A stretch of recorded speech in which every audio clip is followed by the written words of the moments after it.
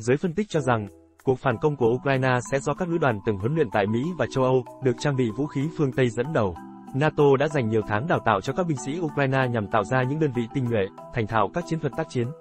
Ván bài tất tay của phương Tây Khi các đơn vị khác của Ukraine đang chiến đấu chống lại quân đội Nga ở phía đông và phía nam đất nước, thì lữ đoàn cơ giới số 47 đang chuẩn bị cho giai đoạn tiếp theo của cuộc chiến tại một căn cứ quân sự của NATO ở Đức. Họ được huấn luyện qua máy tính mô phỏng các tình huống có thể gặp trên thực tế.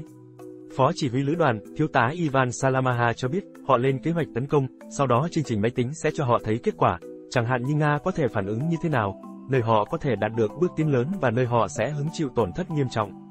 Qua các chương trình này, chúng tôi hiểu bức tranh tổng thể, cách thức hoạt động trên chiến trường và thấy được thiếu sót của mình, ông Ivan Salamaha cho biết. Theo Ivan Salamaha, nhiệm vụ đầu tiên khi làm việc với phần mềm mô phỏng tình huống chiến tranh, Cora, được thiết kế dành riêng cho NATO là lên kế hoạch đối phó với đối phương giả định. Các chương trình đã tập trung làm nổi bật những thách thức ở phía trước đối với quân đội Ukraine vào mùa hè sắp tới. Ngoài ra, Lữ đoàn 47 cũng được huấn luyện cách vận hành vũ khí hoặc phương tiện họ sẽ nhận được, đầu tiên là cách thức vận hành, sau đó là kết hợp chúng với những loại vũ khí khác.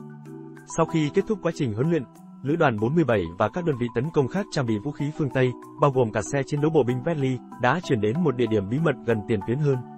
Họ đang chờ lệnh tấn công nhằm giành lại những vùng lãnh thổ đã mất và xoay chuyển cuộc xung đột theo cách có lợi cho Ukraine. Cuộc phản công sẽ là phép thử lớn nhất đối với chiến lược do Mỹ dẫn đầu nhằm cung cấp vũ khí và huấn luyện cho các binh sĩ Ukraine. Bộ trưởng Quốc phòng Ukraine Oleksiy Reznikov gọi đây là cấp độ tiếp theo trong quá trình hỗ trợ an ninh, điều mà ông và các quan chức khác đã đề nghị các đối tác phương Tây thực hiện. Anh đã cung cấp khóa đào tạo cơ bản cho hàng nghìn tân binh Ukraine kể từ mùa hè 2022, nhưng gần đây, toàn bộ các đơn vị của Ukraine đã được cử đến Đức và những quốc gia khác để học cách phối hợp với nhau cũng như gia tăng khả năng tương tác giữa các đơn vị khác nhau, ông Resnikov nói. Ông Reznikov nêu rõ, chúng tôi cần các khóa huấn luyện cấp đại đội, trung đội, cấp tiểu đoàn để thành thạo kỹ thuật, cách thức vận hành các phương tiện mới. Các chỉ huy cần được huấn luyện cách điều hành lực lượng của mình, hỗ trợ pháo binh, hỗ trợ các hoạt động trinh sát.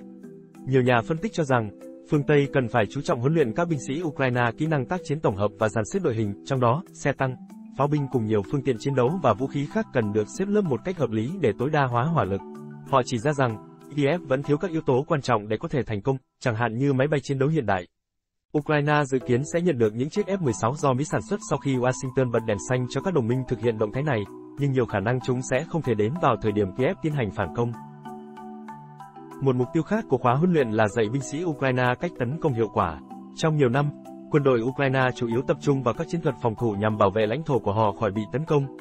Ngay cả những binh sĩ đã từng tham chiến trên chiến trường miền đông Ukraine cách đây 8 năm cũng có rất ít kinh nghiệm về các cuộc tấn công. Ukraine đang chạy đua với thời gian. Phương Tây tài trợ phương tiện và vũ khí với hy vọng Ukraine có thể sử dụng chúng trong chiến thuật tác chiến vũ trang kết hợp. Theo đó, Ukraine sẽ phối hợp đồng bộ với máy bay, xe thiết giáp và bộ binh để chọc thủng tuyến phòng thủ của Nga. Nếu Ukraine thực hiện chiến thuật đúng cách, họ có thể đẩy Nga vào thế bị động. Tuy nhiên, theo các chuyên gia, chiến thuật này rất khó thực hiện, đòi hỏi quân đội phải được đào tạo chuyên sâu và ngay cả những đội quân tốt nhất đôi khi cũng có thể phối hợp thiếu ăn ý. Trong nhiều tháng qua, Ukraine và các đối tác luôn cho rằng thiết giáp của phương Tây, chẳng hạn như xe tăng Leopard của Đức và xe Sticker do Mỹ sản xuất, vượt trội hơn nhiều so với thiết bị của Nga và điều này sẽ xoay chuyển cuộc chiến theo hướng có lợi cho Ukraine. Tuy nhiên, các lực lượng Nga đã thiết lập được tuyến phòng thủ kiên cố dài gần 1.000 km ở miền đông Ukraine và có sự chuẩn bị kỹ lưỡng để tránh tình huống bị tấn công bất ngờ. Ông Edward Arno, nhà nghiên cứu tại Viện các quân chủng thống nhất Hoàng gia Anh, cho rằng Ukraine đang chạy đua với thời gian, vì lực lượng Nga càng ở lại lãnh thổ phía đông lâu thì xung đột lại càng bế tắc và việc giành lại khu vực này càng khó khăn. Tháng 5 vừa qua, người phát ngôn của Hội đồng An ninh Quốc gia Mỹ John Kirby cho biết Mỹ đã làm mọi thứ có thể để giúp Ukraine tăng khả năng thành công, nhưng ông vẫn chưa bày tỏ sự tin tưởng hoàn toàn về việc Kiev sẽ giành chiến thắng. Hai German, giám đốc trung tâm xung đột và hợp tác Peter D. Watson tại Đại học Rochester, cho rằng, thay vì xác định thành công của Ukraine dựa trên việc giành những lãnh thổ to lớn, phương Tây nên coi bất kỳ bước đột phá nào mà Ukraine có thể tạo ra là một chiến thắng.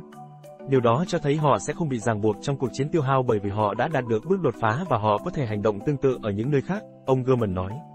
Tuy nhiên, những bước đột phá nhỏ khó có thể thuyết phục Mỹ và châu Âu ở thời điểm sự ủng hộ của người dân Mỹ đối với nỗ lực viện trợ cho Ukraine đang giảm dần và cuộc bầu cử Tổng thống Mỹ năm 2024 sắp đến gần. Cựu Tổng thống Trump đang cố gắng chứng tỏ ông là ứng cử viên có thể chấm dứt xung đột Ukraine trong 24 giờ, trong khi đối thủ của ông thống đốc bang Florida John DeSantis, người tuyên bố tham gia tranh cử vào tuần trước, đã hoài nghi về nỗ lực của Mỹ tiếp tục viện trợ quân sự cho Ukraine. Theo Soha, cảm ơn các bạn đã xem bản tin.